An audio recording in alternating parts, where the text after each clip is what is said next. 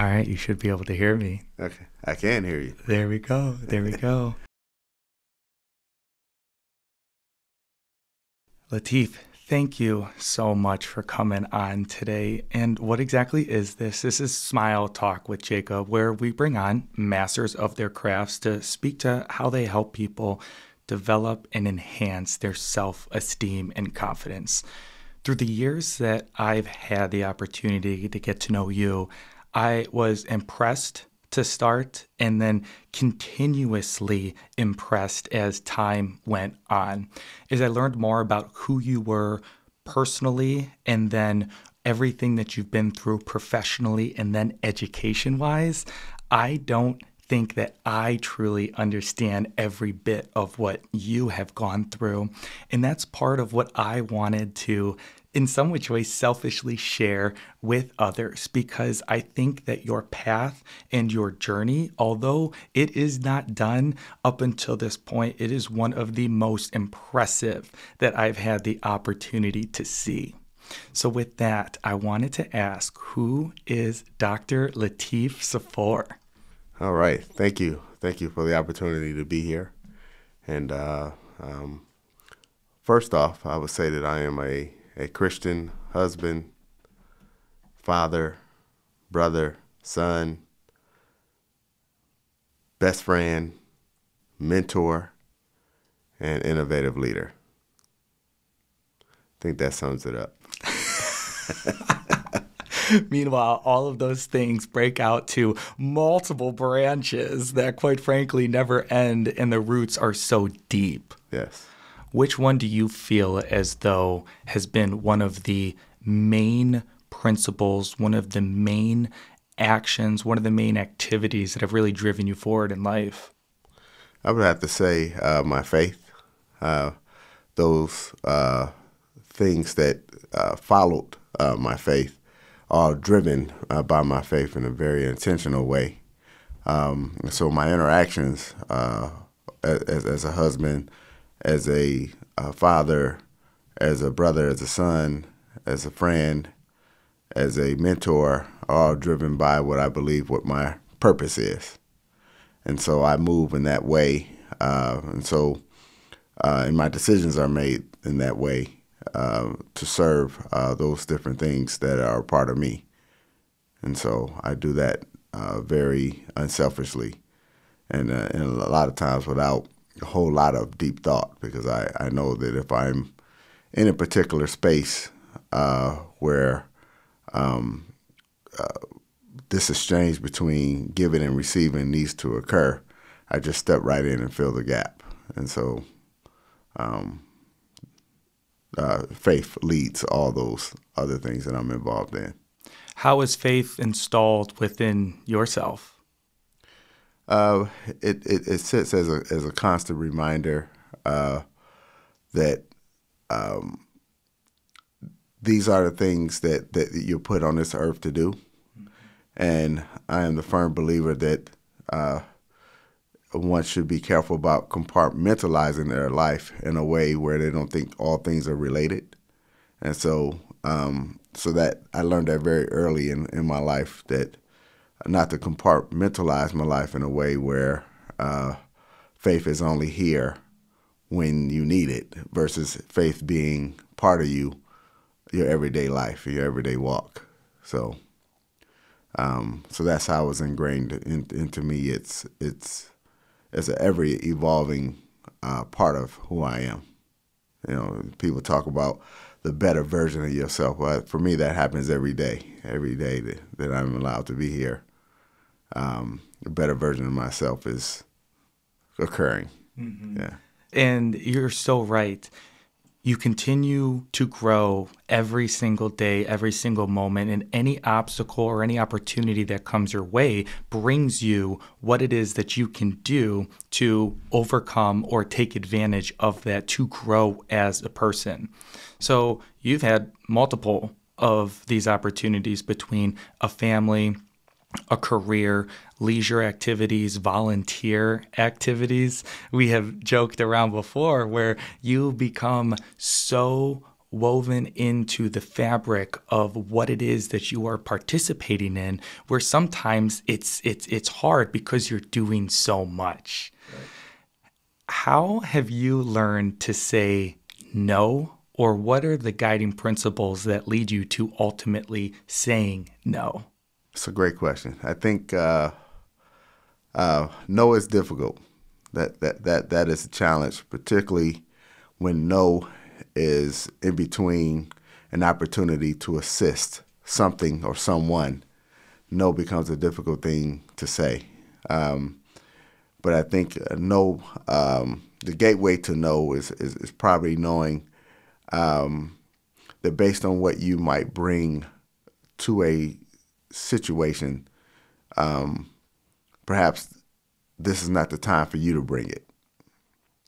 And, and, and so that's when uh, you become very creative and figure out, well, if not me, who? And a lot of times people ask that in the context of if not me, who, as if it should circle back around to you. But if not me, who? And then I find strategic ways to figure out who is the better person uh, to deliver, uh, whether the service, advice. So I've learned a long time ago, uh, sometimes you may have good intent, you may have a great message, but you may not be the messenger for that particular circumstance or interaction with a particular person. So, no, for me, more so is removing myself and putting the best system or circumstance or person into that slot that I may think might be better for the situation. So, no, for me is is more so um, how can we better, how can we make a situation better and sometimes me saying no can make a situation better. Someone said one of the greatest qualities that a leader can have is to know when not to lead. And that can mean a multiple of things. Is that leading the message? Is that leading an organization? Is that leading a group of people? It can mean what it needs to based on what organization has in terms of what they need with their leadership, but then also what organization it is that you are bringing to either a club or an organization or a company as such. So I think that your ability to recognize that is a huge reason for the success that you have seen up until this point and what you'll see moving forward. And moving forward is exactly what I see you doing. You are always on the move. But I don't want the vision of what's to come overpass or overlook what has happened in the past. And education has always been a huge part of you, whether that be professional development, personal development, or education through classes. I mean, we're talking to Dr. Lateef Saffore, PhD. What impact has education had on your life? Education, uh, for me, in terms of its, its impact, has been um, really the, the uh, early in life is it's the it's the great divide in terms of trying to figure out what to do um, with your life as a as a young Lateef Saffore. Uh, what am I going to do with my life? And so education becomes that constant uh, pathway to figure it out. Um, and um, and then eventually, over the years, it, it also became a, a way of uh, receiving some sense of enjoyment about learning and uh, and then to be able to apply those things to everyday life. And so, uh, one on one end, it, it was a, a, a pathway to a career, and then um, and maybe the second phase with that is the the benefit of learning something new and being able to apply it to a number of opportunities. And so, um, and so that's for me. Learning doesn't get old. You know, it doesn't stop at at a at an achievement associated with your learning, such as degrees. Um, but it becomes something that's en- enjoyable, almost like a hobby. Mm-hmm. Um, so whether um, I'm writing a book or whether um, I'm researching something that um, I might have seen on TV for a short bit of seconds that I feel needed to be expanded upon. Uh, whether my daughter is challenging me because I'm like her human Google. uh, so the, the, the learning process is always enjoyable and fun for me. So um, um, beyond it being uh, connected to a career, it's also uh, a hobby. And you have allowed yourself the opportunity to continue through this hobby of learning in which you are sharing this hobby with other people. How so? I want to bring to light the wonderful event that you put on for the Nordonia Hills Rotary Club. You put together a STEM event over at the high school that brought together people from the Northeast Ohio area within these STEM within the STEM ecosystem and allowed people to once again realize that learning is fun and these STEM topics are interesting and there for people to continue to expand upon what it is that they're doing in school now and the opportunities within the future. Can you talk more about that event?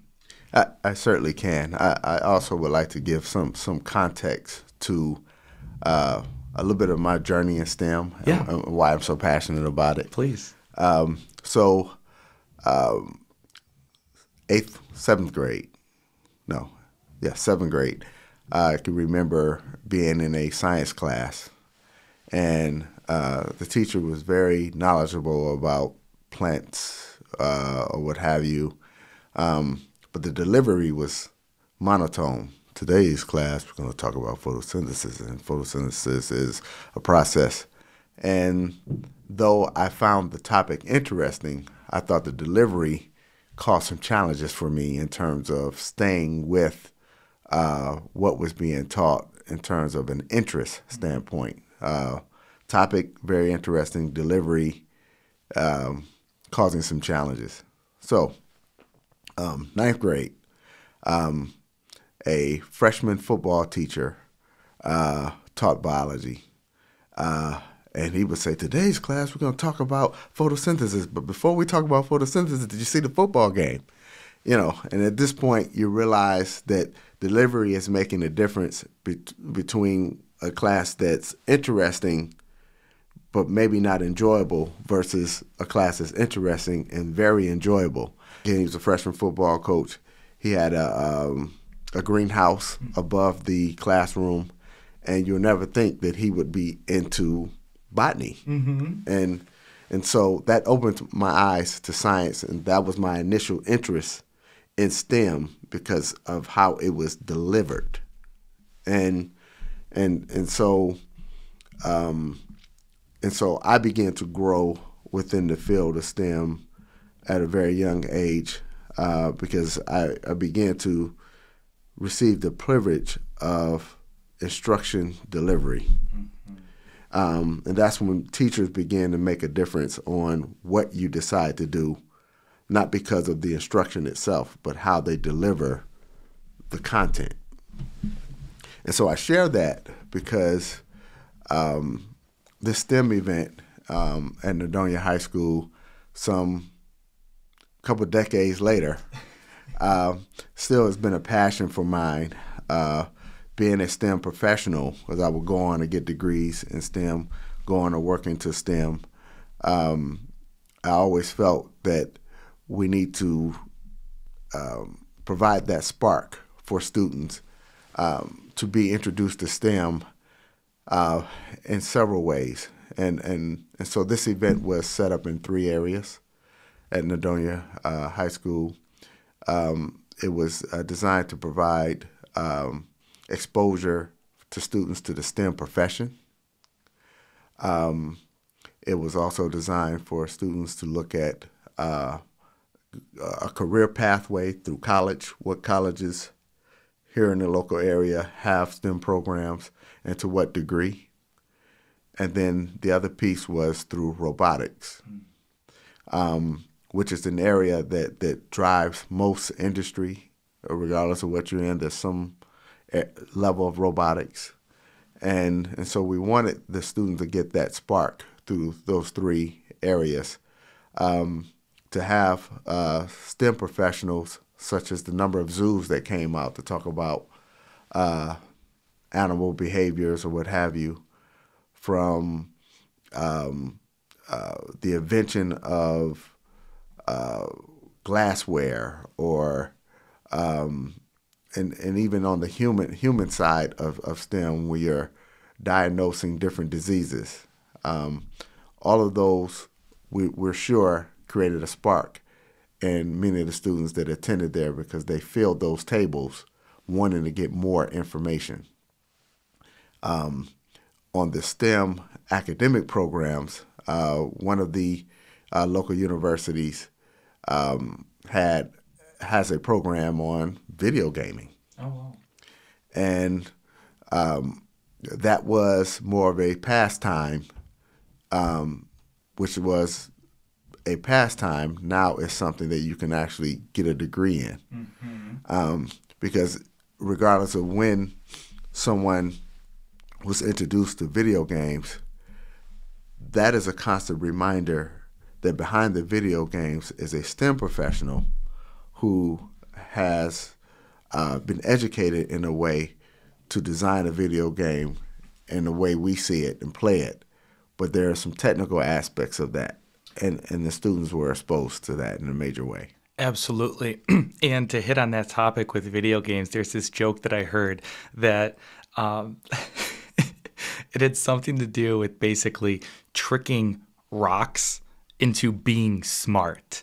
Because when you boil it down, I mean, you're talking all of these semiconductors and these computers and these PCs. You know, there's not a person in there that's doing all this stuff. They are literally raw materials that are being produced, that are put into this motherboard, that are conducting electricity, that are translating zeros and ones to what people are playing on what was at one point just a big joystick yeah. to now something that has you know a controller that has multiple buttons or now the keyboards as most of these gaming uh, stations are switching over from a console like a playstation 5 or an xbox one or series x and to now being physical dashboard or like you know computers with desktops and you know the screens now yeah. you know they're talking you know 144 gigahertz and all of this stuff. And it wasn't until i wound up going ahead and purchasing a pc myself where i'm just like oh, this isn't as easy as just stopping by Best Buy and grabbing a computer screen and a computer. It's like,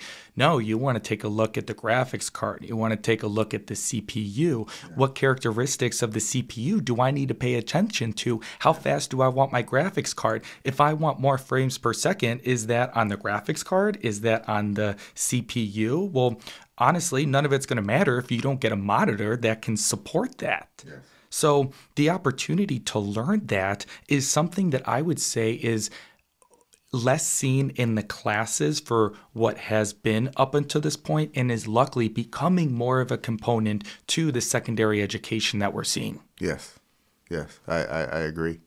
Um, many students want to see now how is this connected to what I want to do? You know, I mean, it's not one of those things where you, you just say, you know, get your education, and as you get closer to it, you will, you'll, you know, be exposed to why you had to do all this work, mm-hmm. and and I think now students want to see that much earlier in their academic career, um, and so that's the reason why we chose ninth and tenth graders, mm-hmm. uh, because we wanted them to think critically about what it is they want to do as it relates to STEM and get this broad spectrum of um, what fields that they can go to, go go into, mm-hmm. uh, particularly uh, whether it's the um, medicine, whether it's robotics, whether it is uh, uh botany, whether it's zoology, um, um and we felt we did a uh, an excellent job in giving that, providing that broad spectrum of all the STEM fields that one can go into. We even had someone from NASA, um, and uh, you know it's, it's it's limitless. We're we're very excited, um, though that was the first. We consider that to be a, a an event that we would like to do annually, mm. and so uh, we we intend to, to continue to do that particular STEM event each year. You brought up a great point personally based on the story that you told about connecting with STEM at seventh grade.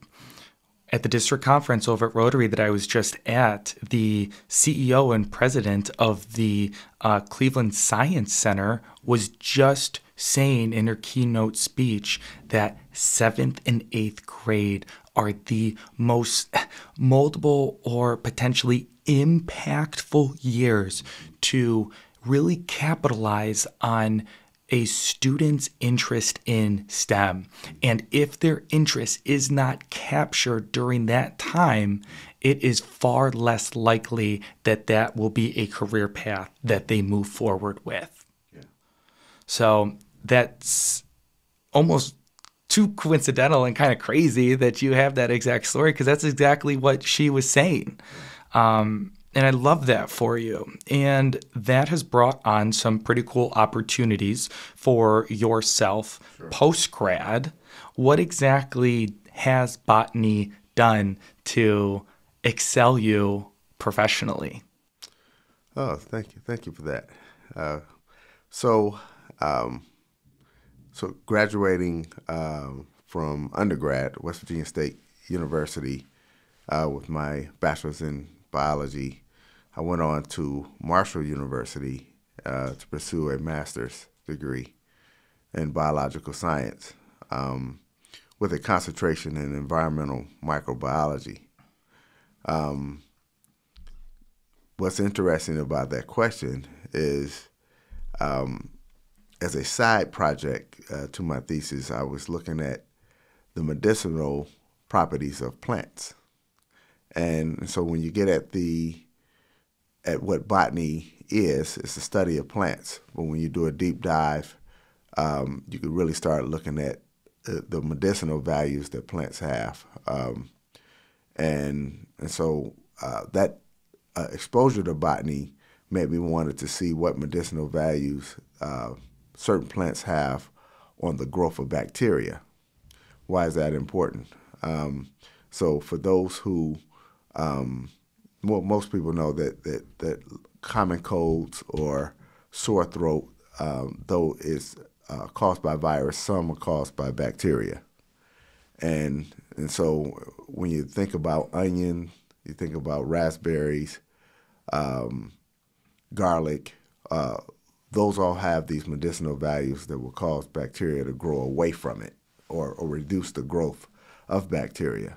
So that's important. Um, and though you might not want a person walking around with garlic breath, uh, but but in a laboratory you could see that, that bacteria cultures um, growth is reduced when exposed to different plants that you uh, extract their um, you, you, take an extract from a plant by boiling the plant, um, and then you know take take some of that out of the out of the beaker and, and expose it to bacteria, and you'll see that it's growing away from it. Um, and so botany for me, my interest in botany was more so through its medicinal properties uh, that plants have. Some plants you know, some plants you don't know, and and so um, and so my, my primary interest going into graduate school was in bacteria mm-hmm. and uh, looking at um, studying bacteria, uh, whether it was on the medicinal plants' impact or effects on bacteria, or also uh, looking at E. coli. E. coli uh, um, during that time was found to uh, uh, infect meat, hamburger meat. Not sure how much of a deep dive you want here, but uh, um, and so some um, uh, uh, food processing chains were affected by it, and and so the scientific piece, because that that's where I'm going with this. The, the scientific piece here was trying to discover where was the source of contamination. And um, and though they are very, uh, even then they were they're, they're very uh, technology advanced ways to um, identify different bacteria strains. Ultimately, you you want to find out if this contamination is um, happening on a farm or is it simply happening because of the preparer not cleaning their hands mm-hmm. properly? And so, so those kind of things were very exciting to me. Yeah. Uh, a little bit of a lot of science and also um, um, a lot of discovery to try to figure out um, where the source of contamination is coming from. So, where do you do this research? How, how, do you, how does one get the opportunity to do this research and studying that you had the opportunity to do? So you can do that at most universities that have a uh, biological science program or microbiology program, because you're you're, you're dealing with um, uh, small organisms, mm-hmm. and so so you have to use equipment that can kind of magnify what you're looking for, and so whether you're looking uh, to identify what type of bacteria uh, you have versus trying to look at their DNA. And so all of these things can be done in a uh, well-funded laboratory at, at a university, and uh, um, and, you, and you are able to uh, differentiate biological uh, bacteria strands one from another mm-hmm. to determine um, where they're coming from because certain what we call fingerprinting and certain patterns in their DNA or RNA uh, lets you know that it is um, that these particular uh, strands primarily comes from this source versus that source, and so bringing it back up, that's how you kind of know where the contamination. So you can go back to the food chain process and say your contamination is coming from X and that kind of research it, it hooked me in, in at a uh, while in graduate school, working on my thesis. Um, and then at that point, that's when I knew um, that that was the career that I wanted to pursue, the type of STEM that I wanted to do, and that was laboratory research. Everyone's talking about these essential oils. What are your thoughts on them? That takes me back to the medicinal property piece. Uh, I know there's two major types of oils. There's fixed oil, there's essential oil. Uh, fixed oil is the kind that just kind of sits on your skin. Essential is the kind that penetrates your skin. Uh, something that has menthol in it. You can feel it kind of tingling. Uh, and so, um, uh, essential oil um, may be used in a very generic sense. I know I took it places that I probably didn't need to take it, but, but uh, um, um, I think uh, uh, for me, if it if it if it has true medicinal value, mm-hmm. Um, I certainly you know um, uh, think it's you know okay. Uh, sometimes folks uh, use essential oils in a very generic way. Yeah. And so, um, but if we're talking about something in particular um, that, again, was extracted from a plant that's um, that's connected to some research, then I, I, I certainly you know put all the confidence behind uh, whatever regulating body that cleared yeah. it. yes. Oh, goodness. the older I get and the more people that I talk to, I continue to be amazed with the knowledge that they have about what it is that they have spent their time understanding, practicing, and continuing to learn about. So now I, I will acknowledge that you just barely scratch the surface in regards to every bit of the research and all of the knowledge that you have. But I appreciate that because it gives us enough to be able to get a general understanding and in some which ways scratch the itch that we have to either learn just enough about it to feel a little bit more comfortable and knowledgeable about it, or give us that little creak in the door to really open it up and say, okay, this is interesting to me. What more is there yeah. behind that closed door? Yes. Yes. And you have multiple doors. And that I think is what has continued to amaze me the more that I've gotten to know you is, you know, Dr. Lateef Saffore is not only a person who is well versed within botany. You are not only a family man, but you are well through your journey that is not over of being a businessman. How did you either pave this path yourself or who helped you pave it? Yes. Uh, so, uh, transitioning from this very uh, structured uh, corporate America career path to the business was more of a realization uh, for me to um, try to see if there's someone, well, not someone, but but is there something else out there that can give me a new challenge?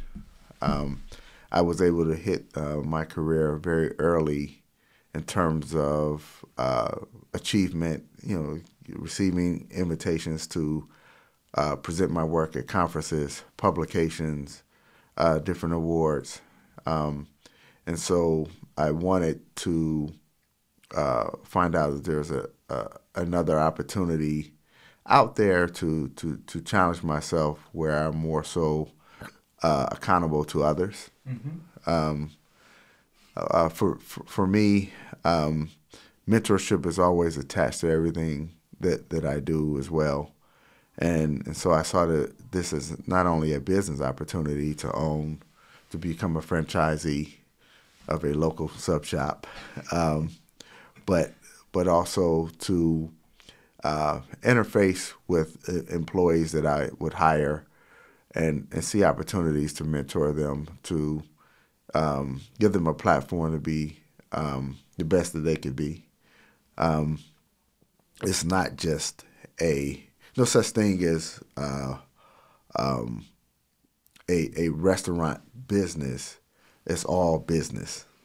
Um, but while you have employees there, you want them to have an experience that they may not get elsewhere um, because my approach is different. Um, I also use uh, my location to interact with the community. I've supported so many different sporting events.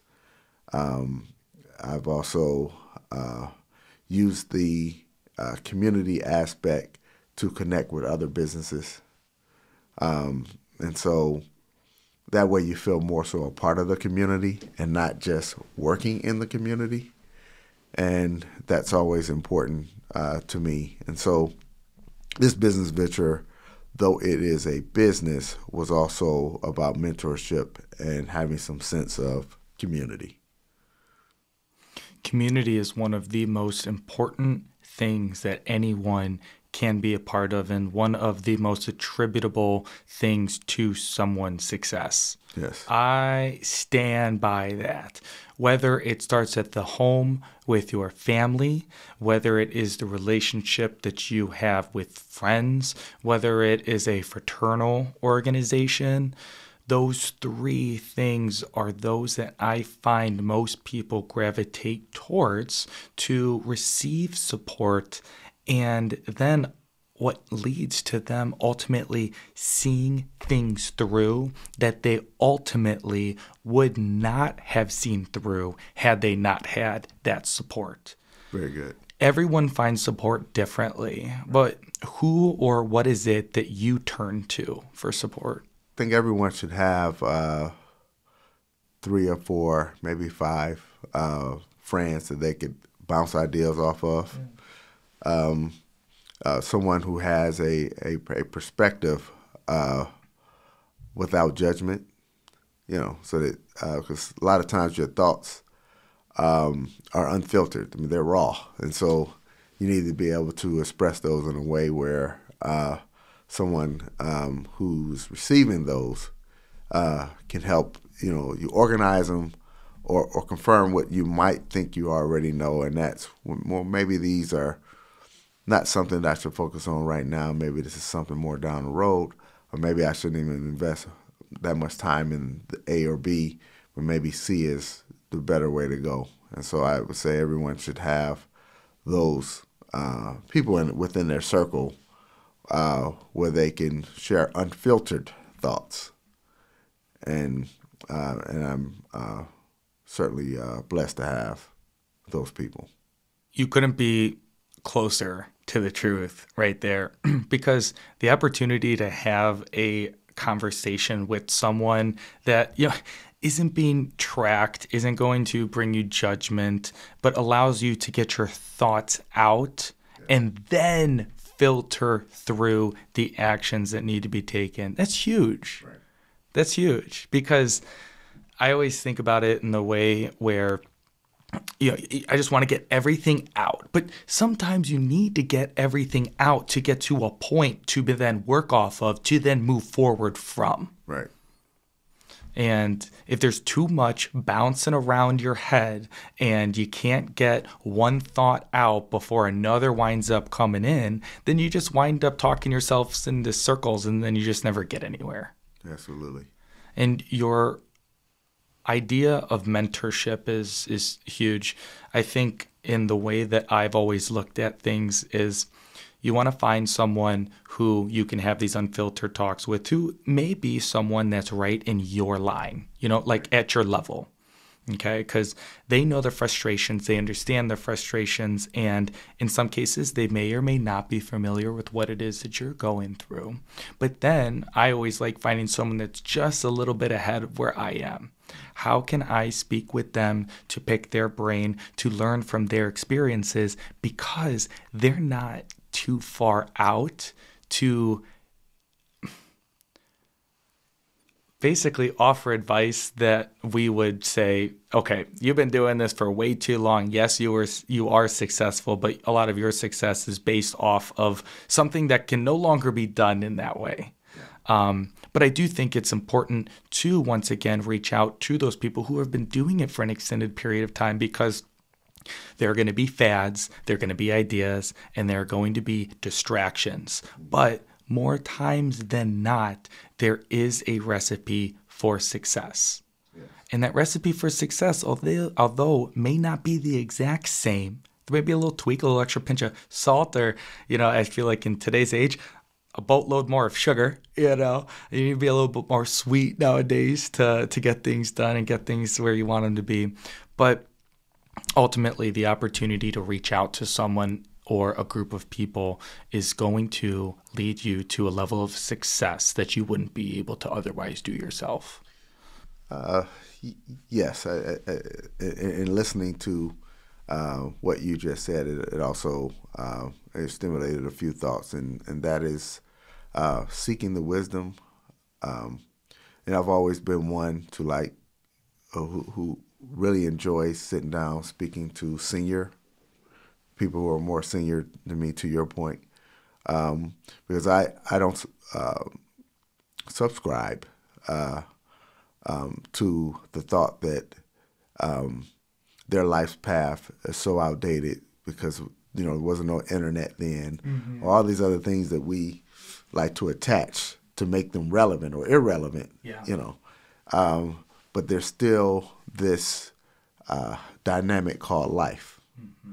and, and and and living within this life uh, dynamic, there's still commonalities that that occur, um, and and you don't need technology to make a decision, you know, and there's a lot of things that you don't really need um, to do that sometimes we uh, are a bit uh, murky on, thinking that the wisdom that we might be seeking might be outdated, and it's not outdated. Uh, it is applicable to to where we stand today, and so seeking that wisdom, um, um, and you know, it's interesting when you're speaking with someone who who is a senior person, and and you're sharing some things, and you see their facial expressions, and you know they can almost complete your sentence because they know what you're getting ready to ask them, or they know what you're getting ready to share. Uh, the great thing about that exchange between speaking to uh, a senior person is that you realize that on one one end, you're not walking into uncharted water in terms of life experiences. That that there is a an answer for it. You know uh, that that you're not just kind of left out there, still trying to uh, figure it out. That there there is um, these multiple choices that you can kind of pick from, and and and again having someone in your circle where you can get that information because sometimes you you don't have the answers and you don't have to have all the answers. I mean that's that's the joy of having relationships, and so. Um, but having relationships within your circle, having uh, someone that you mentor, because you can learn from someone that you're mentoring as well uh, having someone within your peer group, someone at the same level, than having someone who is older, you know, who is a lot more traveled, um, is what composes of my circle. Uh, and because I feel that, that that dynamic in life or that exchange that you get from having these relationships helps you all grow within the circle. It's not just being a recipient of it because this is your circle, but it's the exchange of what you give and what you receive and someone's willingness to receive is also, I'm sure, going to be a huge part of a successful mentorship or a successful training session or a successful learning experience. Right. Because if you're not able to or willing to accept what it is that other people are saying, the advice that they're giving, or as hard as it may be, the criticism right. that they are issuing that you have to receive. If you're not able to take those things, internalize them, and understand that every bit of it is to help you improve, then you're just going to be stuck in your ways and not able to ultimately move forward. Um, I, I, I, agree. I also uh, have also learned that at the time that the message is being shared, it may not be for you. Mm. T- tell me more. You could, someone could be listening to this podcast and not connect to certain aspects. Next year, five years later, there's a connection. And so no message is a wasted message. That sometimes in your life maturity, you may not just be ready to your earlier point, you may not be ready to receive the message. Not because it's a bad message, it's just you're not quite ready for it.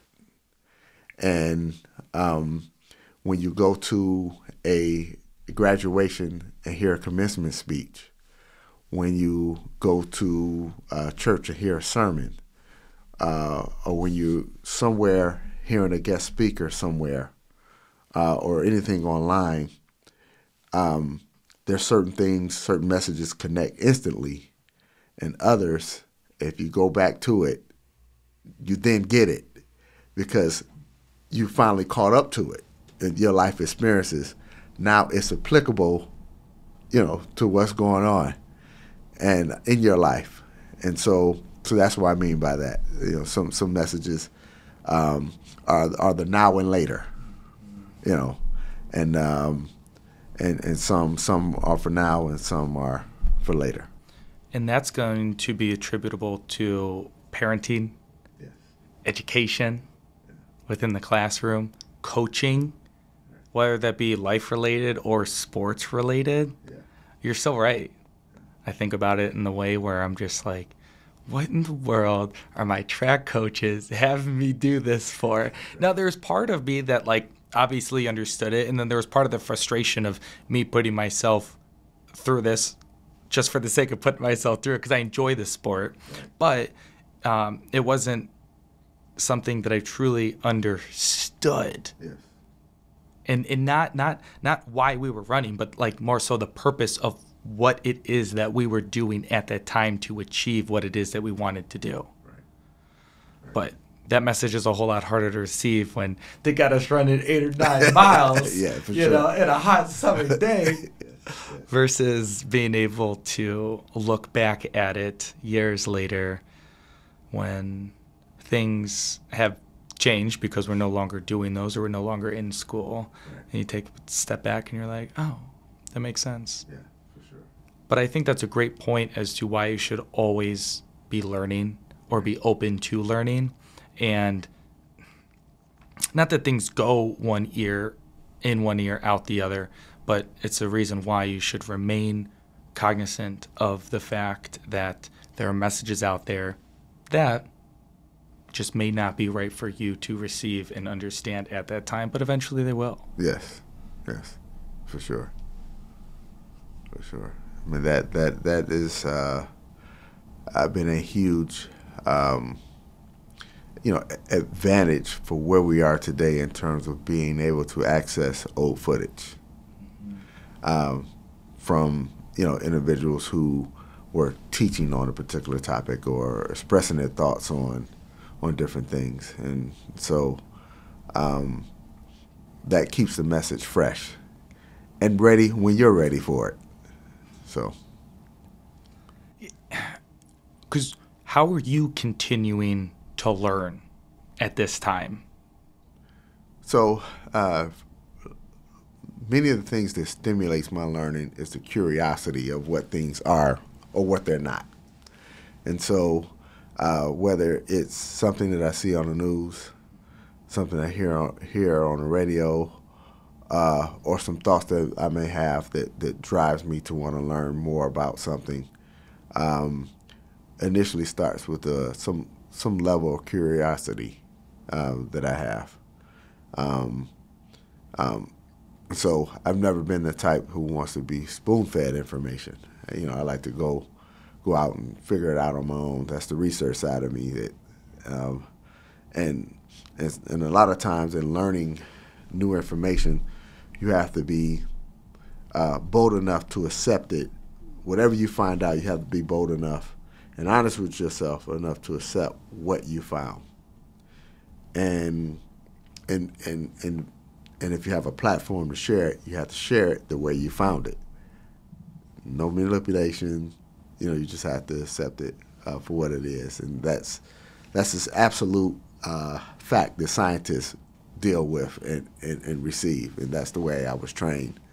Um, and so for me, it all starts with the initial curiosity and and and, and then in finding out the facts, uh, being willing to accept them as they are. and you become an expert on these fields that you are interested in Yes. and share that knowledge with those who are willing and able to accept it. So do you do any like do you, adjunct professor work or do you teach any classes? Have you done any of that? I've, I've done some of that. Uh, I've, I've taught uh, some biology courses uh, before. Um, was very excited about doing that um, um, because I felt myself becoming that ninth grade biology teacher. You know, because I wanted, I knew that I had to present it in a certain kind of way.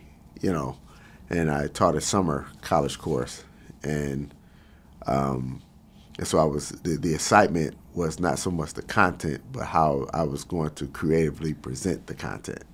And so I was really excited about that. And it was a lecture and lab, and so I was able to um, infuse my uh, techniques on laboratory um, methods or what have you. And so, um, yeah, so I, I do enjoy uh, the teaching aspect of it um, because I realize that, that in order to shape uh, students' ideals about science or STEM, it has to be interesting.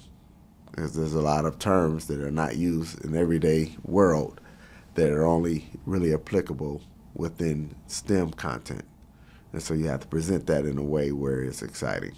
Exactly, because sometimes the unfamiliarity with those words can lead to a little bit of like confusion which would lead to someone like not wanting to open up that right. box but instead no it's it's let's be interested in this. Let's peek a little further. Let's turn that page. Let's understand how what and why is is is this what it is? Yes yes. Yeah yeah um, uh, because in, in, in reading these reading these particular words whether it's biodegradable photosynthesis uh, um, um, meiosis, mitosis. You know, those are not everyday words. Mm-hmm. You know, and so, um, and and so my approach is always pulling out all those words and and going through the words first, defining them, and then using those in context and instruction. And so, um, um, and that's how you make a connection to the learner. It's knowing, knowing. People always say when you're speaking, know your audience, and you also need to know the learner. You know how they're receiving the information, and that's the joy in teaching. Uh, is is of the art of teaching, mm-hmm. is is knowing the learner and, and knowing how they're receiving the information, so that you can have a breakthrough in how they comprehend what you're teaching them. And sometimes, as you said, with the messages that you're sharing through your teachings, that breakthrough is not recognized by the student that you're teaching until later on in life. Uh, more times than not, that is the way that it works.